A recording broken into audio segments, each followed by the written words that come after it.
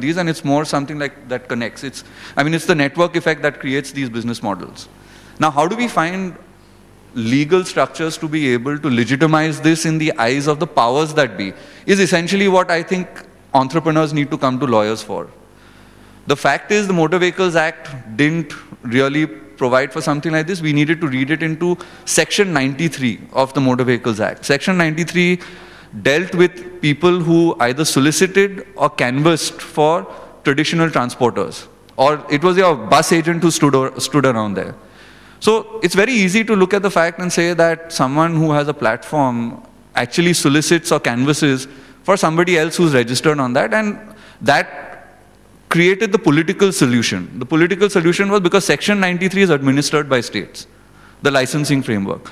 But what do you do when technology crosses boundaries and jurisdictions of individual regulators because state transport authorities can only look within their jurisdiction. So that's when the role of the central government comes in saying that let's create an advisory which becomes a guidance for everybody. And last week the government issued an advisory.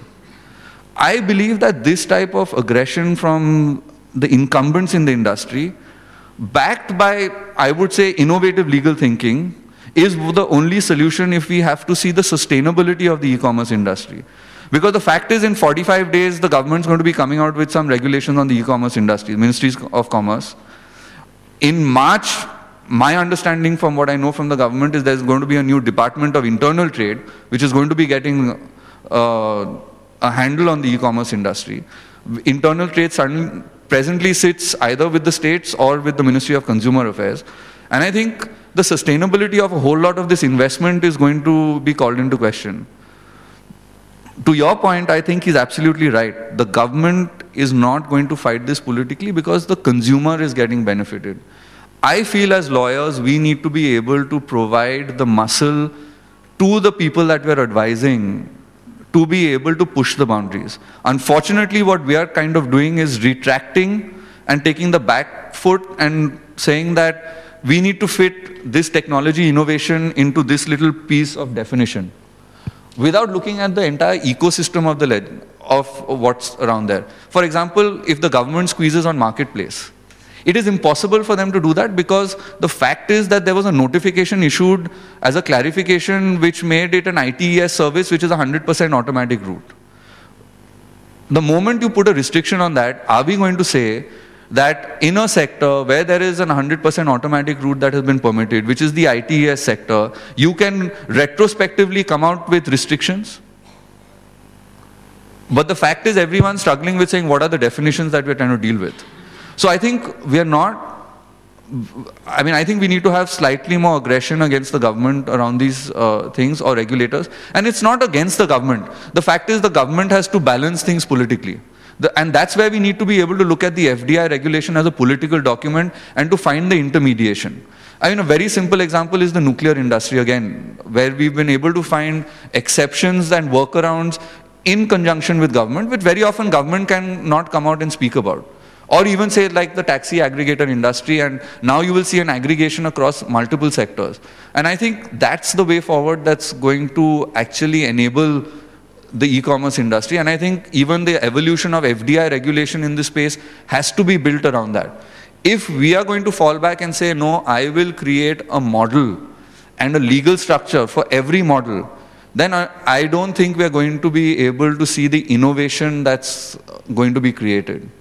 The fact is we need access to technology tools and the intermediation of technology and we back it up with legitimacy from uh, the legal structure. You know? Absolutely, Suhan. Well said. Very well said. You know, I think uh, uh, you know uh, we can't agree more with you uh, because we've seen that uh, how our Prime Minister, when he had his last visit to uh, Silicon Valley, had all praises for the poster boys or Indian entrepreneur poster boys. However, we still lack that political motivation to do a drastic sort of uh, ironing out of the FDI policy so that they're left or there, there are no scope for any uh, involvement of a lawyer to let the innovator and you know, our e-commerce entrepreneurs keep doing their business here. Now, uh, yeah, we will come on that one second. So, so Rajesh. We should help government find honorable exits so that. Yeah, yeah, of course. And I can tell you, you know, small thing that I can still tell you that I'm sure uh, I can tell you for ourselves, you know, we at you know, our law firm and we individually as well, and I'm sure lots of us have been meeting the various departments of the government and have apprised them of what is there on the ground here.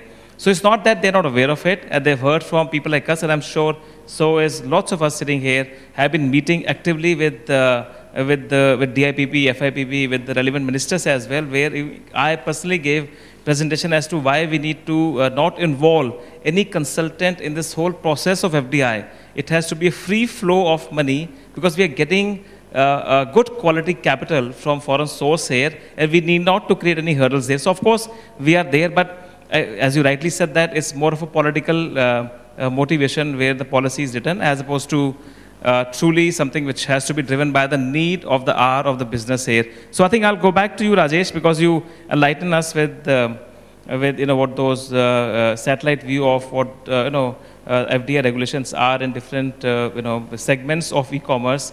So what are your, your views on this whole thing? Sure. So basically, I think I'll slightly differ with Suhan on some of the comments that he made. Uh, just to give an example on the taxi aggregator business, when we were making the first investment on behalf of a client and advising them, uh, who is one of the largest uh, taxi aggregators in the country today, we very clearly articulated that the legal framework is uh, fluid. There is no proper regulatory framework, and in fact, that begged the attention of the regional state government for intervention and a clarification to that effect. And frankly, believe it or not, we went with Bhavish to the local RT offices to get seek clarity. And the babus there and the bureaucrats there themselves were clueless as to what they should do. To add to that fact, uh, we were also faced with certain legal action by some of the local governmental bodies in terms of we defended that wholeheartedly and ultimately won. Okay, so to say that lawyers have not been aggressive and things like, but there's that much that you can do in, in, in a given situation because business requires, for you to evolve, business requires you to take step forward. I'll give you one more example. For another large manufacturing uh, client of ours, who's again in the e-commerce business, and I won't take names, is uh, manufacture, it's, it's so ironic and silly that you can manufacture a product, but you cannot sell the product. Okay? So we went to the DIPP, sat with them and explained them. He said, orally, I agree with you that you can do B2C. That was slightly before when uh, Mr. Jaitley gave, came up with some clarification. And he said, I said, okay, can I ask you for the same thing in writing? He said, okay, you please put it in writing and I'll clarify that to you.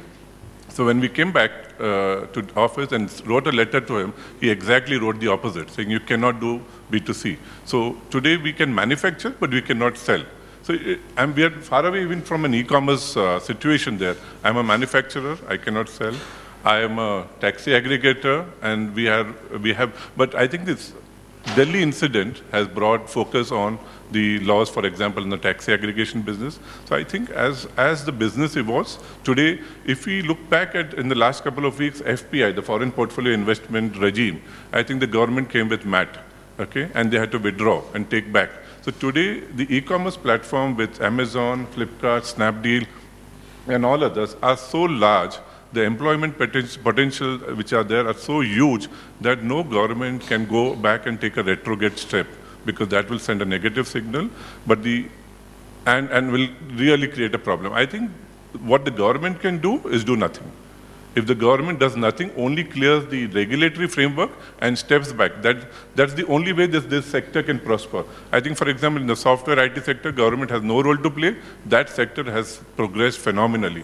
I think what I would request for the government to do is not do anything, just lay the uh, law of the land so everybody is clear what the rules of the games are and just step back. I think if we can achieve that, that itself will be a huge success. Thank you, Rajesh. Thank you very much for that. Um, obviously, uh, you know, we want as much as, as I said, you know, we used to learn this uh, concept in our, uh, in my economics days time. I'm, you know, economics honors. Uh, laissez-faire. The government has to be laissez-faire affair. They don't, they don't need to interfere with the business at all. They have to let the, uh, the entrepreneurs and the businessmen run the business. And they can only draw four boundaries within which they should run the business here, and not to force them to follow uh, one model versus the other because that will take away the optimality of you know the, the doing business here. Uh, thank you, you know, all of you, and uh, uh, as you know that uh, uh, lawyers are also paid to fight with each other. So you know, instead of we just you know debating with each other, we would like to have uh, time given to any one of you to ask any question to. Uh, we will be happy to answer. Okay, so uh, uh, thank you very much, Ashneer. Uh, in fact, I'll pick up from where you left, and this is more in the nature of a comment. Uh, at the outset, thank you for speaking in Hindi. That was very heartening to hear from you. Uh, as you rightly said, that the driving factor is the demand from the consumer, and that's the biggest strength that India today has in drawing all these new kind of business, be it uh, e-commerce or aggregator or you call back-end office. Uh, but having said that, uh, it is very, very important to have a strong, crystal clear regulations and law to back up this kind of a consumer demand. Unless and until you have a proper regulated environment, uh, things will go into multiple litigations. So aggregator is one example where people are so confused, these aggregators are confused. We see the uh, retrospective taxation. You see telecom. Telecom is still facing those challenges. I mean, I have spent 10 years with telecom right from uh, year 2000, and I have seen those early days. Today also, these call drops issues, these are because of center state TRAI not coming to the rescue. So all these complications will keep coming up till the time there are strong regulations and laws in place which must back up the customer demand which India is generating. Now, having said that, from the legal fraternity side, it's equally important that as lawyers, we should be trained to deal with new challenges. What is equally important is, judges training is equally important because unless the judges are trained to these new areas and new arenas of business, they will not be able to pronounce judgments which will have far-reaching consequences impacting these uh, businesses. So that's an area which uh, everybody should look into. Thank you. Yeah, yeah, of course. It's, it's pretty interesting. So, I was actually in a courtroom, okay, fighting a 520 rupees case in Supreme Court of India, okay. You'll be surprised at the level of um, ignorance that is about the sector, okay. So, someone ordered something, let's say, Snapdeal से किसी ने order किया, phone की जगह अलग phone चला गया, कोई गलती हो सकती ह्यूमन एरर हो सकता है, हर बिज़नेस में होता है right now does that mean that customer goes and does a four twenty case which is a criminal offence seven years non available warrant for doing what giving a x phone instead of a y phone और let's in my case giving a product from another merchant instead of a merchant right so we went and the you know honourable जज was there and my lawyer was putting the case up and the the other judge sitting said sir ये online करते हैं right so I was like मैं drug बेच रहा हूँ क्या यार मतलब it is a four letter word let me tell you among the government community among the older businesses online is a four letter word they see us with so much suspicion as if you know we're being funded by the chinese government Right? And one day all of us would be ready with our missiles in our warehouses and we'll say we'll take over the country. ऐसा कुछ नहीं है यार मतलब and the lawyer set कि ठीक है यार अगर आप ये ऑनलाइन बेचते हैं चलो इन, इनकी गलती है लाइफ में। अगर आपको कोई आम बेच रहा है और आपको आम मीठे नहीं लगे आप उस पर जाके 420 का केस करोगे क्या? एंड देन द जज got it but the point is एक ऑनलाइन या ई कॉमर्स लगाने से ही इतना नेगेटिविटी हो चुका है।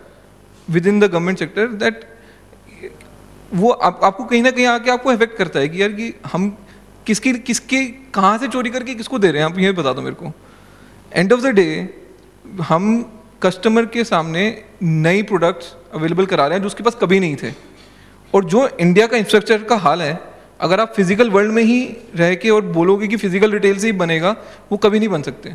आप यूएस में जाओगे, लोग 10 किलोमीटर 20 किलोमीटर शहर के बाहर जाके एकड़ एकड़ के रिटेल आउटलेट होते हैं, वहाँ पे फ्री पार्किंग होती है, वहाँ पे जाके आप शॉपिंग करते हो। इंडिया में अगर मैं आप किसी को बोल दूँ कि दिल्ली से नोएडा चले जा, वो बोलेगा, यार फ्री के परसों आऊँगा अब मैं वापस.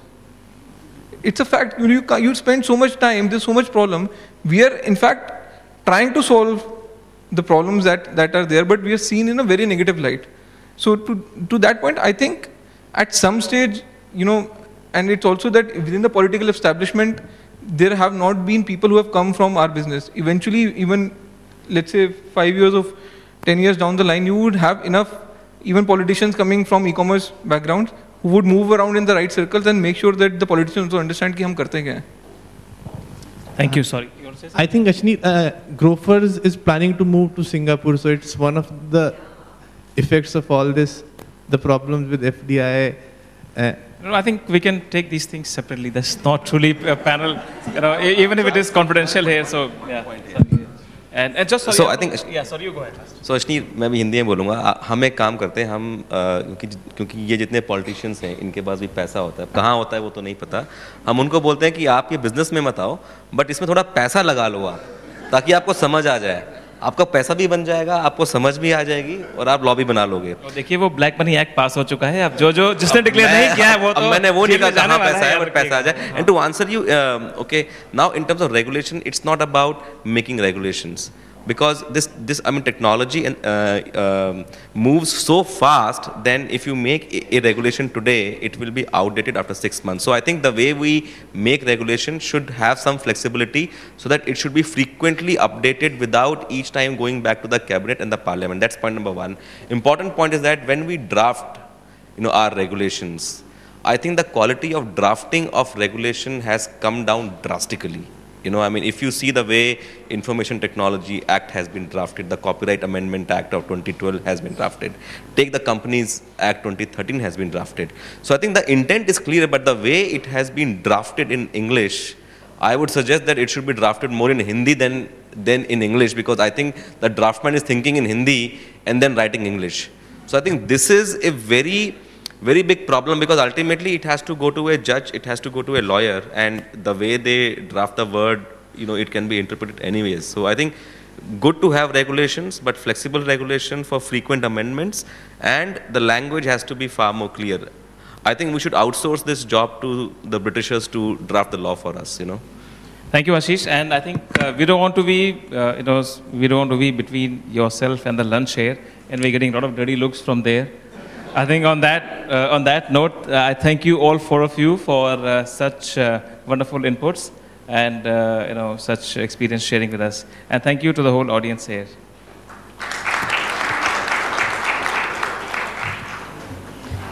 All right, uh, thank you so much, esteemed session members, for this riveting session indeed. I'm sure this deserves a riveting round of applause. It was great to know your respective perspectives on this topical session. Well, uh, time to present the mementos as a gesture of our appreciation towards the panel members. May I request Mr. Anand to please present a memento to the moderator of the panel, Mr. Hardeep Sachdeva. Please put your hands together. Thank you, sir, for wonderfully moderating the session. May I request ma'am to please present a memento to Mr. Ashish Chandra now, please.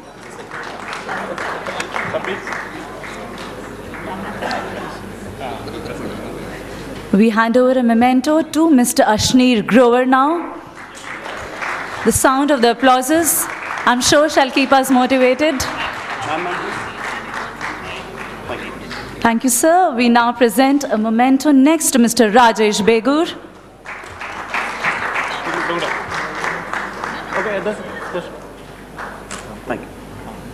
Ms. Anand, may I please request you now to present a memento to Mr. Suhan Mukherjee.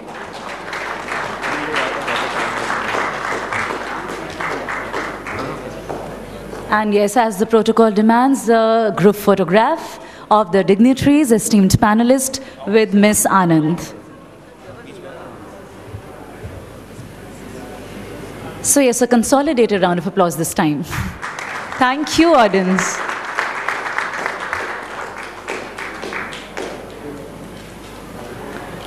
Thank you so much, speakers and ma'am, for doing the honors. Property and e-commerce connecting the dots. This session will discuss some of the significant issues that may come up with respect to protecting IPRs in e-commerce and how the businesses can manage the same. Let's find the answers, as I said, connecting those dots and nurturing the thought of protecting IPRs in this very next session. Please join me in welcoming the moderator of this session, Ms. Sona, uh, Ms. Sonia Baldia, partner Baker and McKenzie. Welcome, ma'am. Ms. Baldia, she is the partner in the Washington, D.C. office, where her practice focuses on outsourcing technology transactions and intellectual property matters.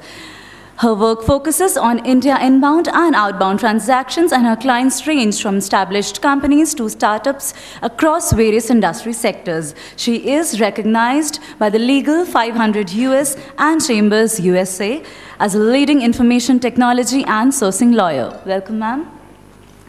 Well, next uh, on our list of panelists is Mr. Manoj Kumar, Managing Partner, Hammurabi and Solomon, an alumnus of the Harvard Business School and the National Law of India University. Mr. Kumar has expanded and led the transformation of Hammurabi and Solomon corporate legal practice over the past few decades. He is known for his immense expertise in providing, in providing cutting-edge solutions to often complex regulatory and legal issues faced by valued clients. He is a frequent, frequent speaker at various Indian and international forums and associations. Welcome, sir. A round of applause for him. I would now request Mr. Rajesh Velakat, partner Fox Mandal, to grace the panel, please. Welcome, sir. Round of applause for him as well. Mr. Velakat heads the technology practice at Fox Mandal and has two decades of experience in intellectual property law, outsourcing, technology contracts, IP infringement actions, and transactional advisory. He has keen interest in the evolving interface of business and law with regard to emerging areas such as cloud computing, social media, mobility, and gaming. Hello, sir. Welcome. Allow me also to please welcome Mr. Niket Agarwal, Vice President, Global Operations, Beacon IP. Beacon IP provides customized intellectual property research and technology consulting services to global corporates and law firms. He is proudly managing and overseeing all business operations, products, and services development and is involved in client management and business strategy. Welcome, sir. Last but not the least, joining us shortly would be Mr. Abhishek Malhotra, Managing Partner of TMT Law Practice. I'm sure he's going to join us within five minutes. So his primary areas of expertise are intellectual property and technology, media, and telecommunications. He regularly speaks at the, at the important conferences and forums of repute like Indo-America Chambers of Commerce, International Trademark Association, FICCI, etc. Well, over to Ms. Baldia to take charge of the further proceedings of the panel discussion. Once again, a round of applause for our eminent panelist. Thank you. Uh, thank you for the introductions. And um, I'm Sonia Baldia from Baker and McKenzie, and I'm delighted to be here chairing this panel with my very impressive colleagues here uh, on uh, intellectual property issues in e-commerce. So for today's discussion, we've handpicked a few hot topics in this area that touches upon patents, copyrights, trade uh, marks, and also some of the liability issues that can come up relative to IP in e-commerce. And uh, uh, so, um, uh, so we are going to have a discussion on those issues. If there is any a particular area that we don't touch upon, but if you have any questions, we would certainly uh, welcome and encourage you to please ask questions because right after lunch, I think it's a good idea to make this interactive, otherwise we'll all go to sleep. So um, I just want to quickly map out the discussion real quick. Uh, so we'll start with Rajesh talking about uh, some of the unique IP issues in e-commerce and e-tailing, uh, with also some thoughts on branding strategies for uh, companies that are trying to establish online presence. So Rajesh is going to address those issues with uh, specific emphasis on trademarks. Um, Manoj will talk about um, uh, the problem of counterfeit goods that are sold on e-com platforms. And um, well, uh, uh, will talk about the role of patents in e for e-commerce startups and some of the challenges and opportunities that are faced by startups in that area, particularly with respect to software patents and business method patents. And our um, fourth panelist, who's not here, Abhishek, uh, he's not here yet, but he'll be shortly joining us. Abhishek will talk about um, uh, the uh, copyright, copyright related issues, basically liability of intermediaries for user content, and also he'll focus on uh, some of the anti-competitive practices that can trigger liability under India's competition laws. So those are the areas that we plan to discuss, but happy to take um, any questions from the audience and other areas as we get started. So with that, I'll hand it over to you. Hi. Good afternoon, everybody. No response? Good afternoon, Vitika. This was a, uh, uh, let me congratulate her. Uh, this is a fantastic gathering. Uh, very learned uh, audience as well as the panel members. I'm delighted to be here. Getting a chance to speak to you all is, is a wonderful opportunity. Uh, before I talk or uh, uh, uh talk anything about um, on intellectual property issues relating to e-commerce, I wanted to know the audience. Are you in-house counsels, or you practicing counsels, or e-commerce companies? How many of you are practicing counsels? Okay. In-house counsels? Okay, quite. How many are industry people? Okay. Okay, so predominantly it's lawyers community. Uh, all are practicing lawyers, so discussing on topics on law is more dangerous now. So I'm a little more tensed. Uh, but let me begin with the purpose of this topic or the relevance of this topic. Uh, primarily, what an e commerce company has. If you look at their balance sheet, what it contains, you may not have significant real estate assets. You may not have significant other virtual uh, real assets. Most your asset columns will be intangibles. And transactions are happening on e-commerce. Primarily all these transactions, if you look at, they are valuing your intangibles. It may be in terms of number of customers, it may be in terms of number of uh, transactions happening, or there are some gross merchandise values or other, other parameters. These are all the value determinants. And if you look at the transactions you do, what you do, you sell your products, you sell others' products, you use others' brand, you use others' designs, you, you sell patented items, essentially what you do, you are transacting on IP. Uh, so e-commerce business means, or if there are any legal issues, all legal issues will have some relevance on intellectual property rights, whether it is on transaction valuation or normal day-to-day business operational issues. Uh, I'm not very sure whether our Indian e-commerce companies have understood this relevance of this topic and whether they have done right strategies and processes to cover and minimize the legal issues.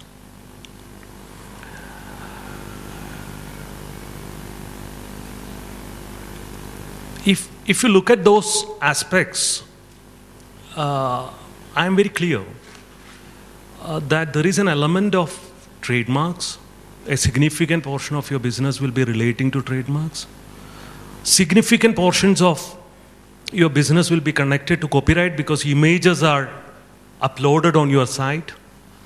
Um, content is uploaded on your site, whether it is uh, a grocery shop or, uh, or FMCG e-commerce company or any other digital transactional websites. There are some emerging issues in terms of branding, uh, brand-related issues, which I would like to narrate. Probably the rest of the panelists will discuss on other aspects of IP. In my, as, an uh, as a practicing lawyer, in last six months, I have confronted with few issues relating to uh, trademarks uh, by e-commerce companies. Most of the e-commerce companies nowadays create mobile platforms. Uh, most of the transactions are becoming m-commerce rather than e-commerce. Mm, uh, mobile platforms or mobile applications are placed in few, few select, say, Apple, Google, uh, Androids. So, so few, few opportunities where you can put mobile applications and load it. I have instances, few instances where uh, you registered owners of trademarks in other countries filing cease and desist notices against Indian e-commerce companies, asking, hey, you are violating my trademark because your mobile app is uh, similar to my, my registered trademark. There are instances where websites are challenged in other countries. So there is a fundamental issues in terms of trade, uh, intellectual property rights and e-commerce business. E-commerce business is global. Um, putting territories is limiting your business. So generally, as, as a nature of business, it's available all over the world. You can sell anywhere, you can buy anywhere, you can transact anywhere from sitting anywhere. So there is no territorial boundaries in terms of e-commerce business. But if you look at intellectual property rights, all intellectual property rights are territorial in nature. So if you have a trademark registration, it's valid in India. If you wanted to have ownership in another country, you need to go and register in that country. Uh, uh, all intellectual property rights, whether it is trademark, copyright, or uh, patents, all are territorial in nature. It's granted by the sovereign in fundamental. Of course, there are some common law rights attached to trademarks. I'm not, I'm not disputing that part, but generally, an intellectual property rights territorial. Whereas e-commerce is global. What will you do with such situations? Even if you have a registration in India, if someone is buying something from Pakistan, uh, or someone is challenging your trademark because it's available in Pakistan or some other neighboring countries or any other country. Uh, how, what is the strategy for all these? Uh, in terms of mobile applications, there is no central registry to have any ownership. So you can have multiple names uh, with the same name. Say, for example, IRCTC. If you search in a Google app or, or a um, Apple Play Store, you, you will find 10 mobile apps with IRCTC name a similar way, any other marks. And it will be confusingly similar. What will you do? Whether you have created such mobile apps or whether you are facilitating others to infringe your mark? What will be your strategy if someone else claiming from some other country, asking, hey, um, mine is a registered mark in my country, so why are you uh, creating business platforms which facilitate infringement here? Uh, these are all some issues where we don't have definite answers because these are all fundamental conflicting issues where trademarks are territorial but e-commerce is global. One another aspect is, especially in terms of uh, trademarks, trademarks has classifications. You all will be knowing NICE classification, 45 classes. All goods and services are classified into different classes. Uh, but e-commerce has no class. You can sell anything. Uh, there is no limitations. Putting limitations is re reducing your business rather. Uh, what will be your branding strategy? Are you going to register in all classes? Uh, are you going to register all over the world? Do you have the budget for all these? These are all expensive affairs. Are you, are you going to monitor uh, infringement in all over the world? Uh, what is the ideal optimist uh, or, or a uh, according to your business, you may have to have strategies created, right? Uh, so strategies that Flipkart may do or Snapdeal may do may not be applicable for a smaller e-commerce player. Uh, something, again, uh, uh, these are all some of the issues which I would like uh, a deeper analysis. There are definitely legislative vacuum on some, some of these issues because there is no legislative initiative to answer all these fundamental conflicts in IP and e-commerce. Uh, but of course, my fellow panelists can uh, enlighten us a little more on all these issues. Let me conclude and pass on back. Thank you, Rajesh. Um, we'll turn it over to Manoj. Yeah, yeah, yeah. Okay, you got that.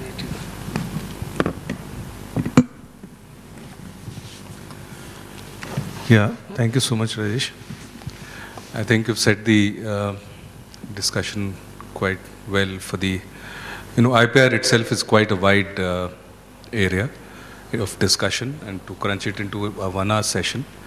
And that too, when we talk about e-com, it again becomes multifold because the playout of IPR in, in a physical retail format and the playout of IPR in a e-com format are totally two different, uh, uh, you know, the stakes change, the stakeholders change, and therefore the problems change and the solutions also need to change.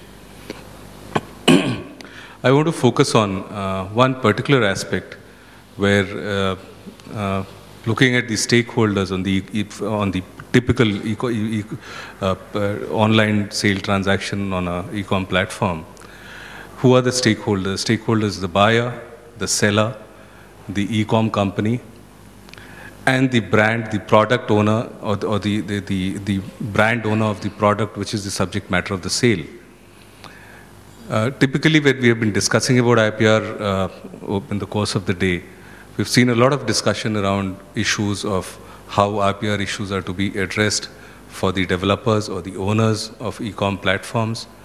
Um, you know, how uh, it would impact the content which is put up there, how it would impact the products.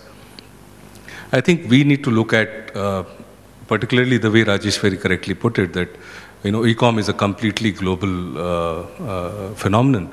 It, it, it cannot be limited by geographical boundaries because sales and branding goes across borders.